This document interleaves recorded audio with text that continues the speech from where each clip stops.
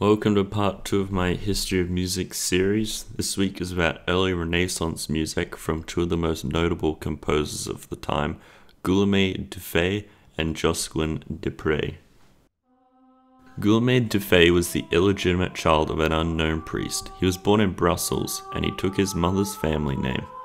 Dufay was a child genius when it came to music. By 16, he was well accomplished and renowned in religious circles. By the time he was about 20, he moved to Italy and worked his way to the Papal Choir, the most prestigious music establishment in Europe, where he directly served the Pope. He remained at the Papal Choir until he was about 35 before moving back to France with a church appointment, though this position did not last. Only a year later, he moved to Florence to again serve Pope Eugene, who had been driven from Rome by the Conciliar movement, a movement that doesn't believe in the authority of a pope similar to a republic monarch situation. He wrote some of the most famous works during this time, including Nuper Rosarum Flores, and received several influential patrons. By 1437, he abandoned Pope Eugene, which was lucky as he was deposed by anti-pope Felix V in 1439, and he went back to his home city of Cambrai, where he grew up as a child. There he pursued a law degree to become a local canon. Through the years of 1452 and 1458, he was back in Italy pursuing a stable retirement position, though he was unsuccessful. He kept writing, and many more notable pieces come from this period. He returned to Cambrai, where he lived for the rest of his life, wrote some of his best work, and met with notable composers of the next generation. Dufay died in 1474 and requested one of his own motets to be played at his funeral, but they ran out of time to arrange it. Saint Etienne, where he was buried, was destroyed, and his tombstone was later found as a well cover in 1859.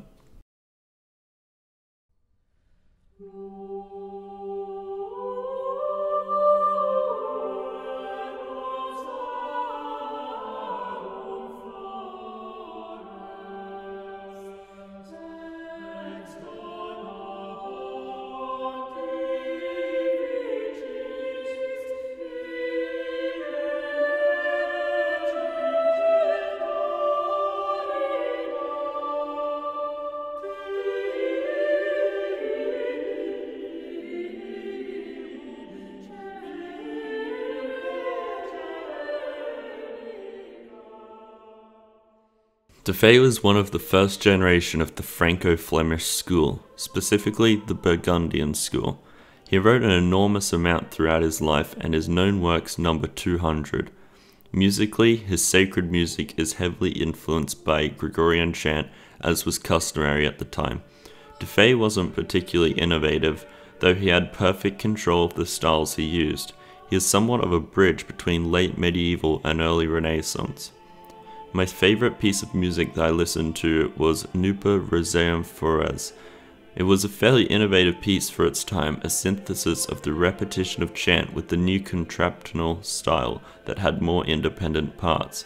This technique was largely picked up by his successors, Des Prez included. The voices sound much more varied than traditional chant with a much larger range.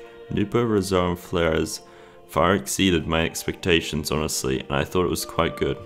As I listened to more of his music, it felt less religious than traditional chant, which was nice, and I particularly enjoyed how much noise there was, although it never sounded convoluted. This is probably because of the large range.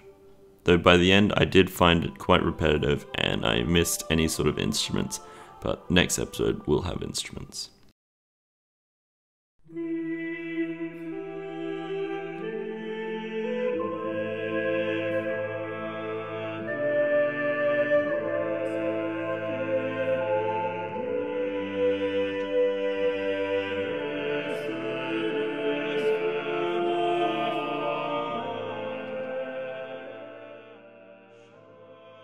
Josquin des Prez was the master of the Franco-Flemish school and easily the most famous composer of his time, and several years after. Despite this though, his personal life is quite a mystery, so details are fuzzy. He was born near the French-Belgian border, likely on the French side. Des Prez is just a nickname, with his real family name being Lebloit. His early life is almost entirely unknown, however, he was probably working at a chapel in France. By 1480, he was likely in service of the Sforza family, who had been banished from their home in Milan to Ferrara. In 1483, the Sforza family and Des Prez went back to Milan. In 1490, he moved to Rome to be in the papal choir for Pope Innocent VIII and the Borgian Pope Alexander VI. He left his name carved into the wall of the Sistine Chapel, Josquin J, which was customary for singers at the time. This is the only recorded autograph of his. He briefly lived in Milan again in uh, 1498, though left after he was conquered by the French king Louis XII, who imprisoned his employers. Josquin then moved back to France. During this time, he wrote Memor esto verbi tui servo tuo, which translates to Remember thy promise unto thy servant, as a gentle reminder to the king of a promised benefice to Josquin. This apparently worked. He remained at the court of Louis XII until 1503, when he was hired by Duke Ercole of Ferrara. He wrote several notable pieces during his time. Though he left in 1504 to escape the plague, along with the Duke and two thirds of the population, his replacement, Jacob Obrecht, died of the plague later that year. He returned to his hometown and became the head of the Collegiate Church of Notre Dame until his death in 1521.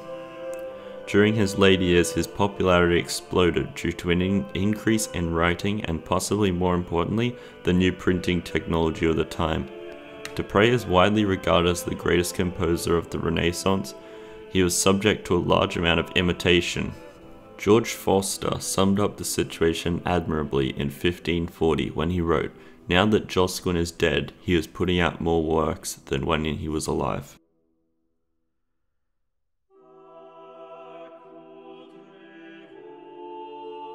Musically, he was more innovative than Dufay, though not by much. He used traditional Italian influences in his sacred music, though personally I can't notice this as it sounds incredibly similar to Dufay. He popularized motivic cells, which are short melodic fragments throughout each piece that add to the unity, which is extremely popular even today. An example might be samples. He contributed to a new form, motet chanson, though it wasn't hugely important in the context of the entirety of musical history.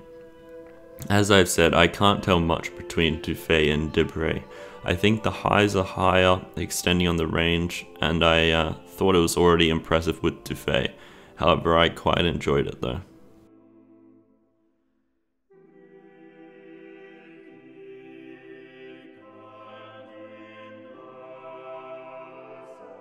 To me, this part is the last hurrah or final and definitive chapter of the classic chant music before moving into more influential pieces next week. This music isn't traditionally my enjoyment, but I suppose every now and then it's quite nice, and I honestly find it very relaxing. Possibly too relaxing. Anyway, next episode should be fun and uh, quite different, so look forward to that. Stay tuned.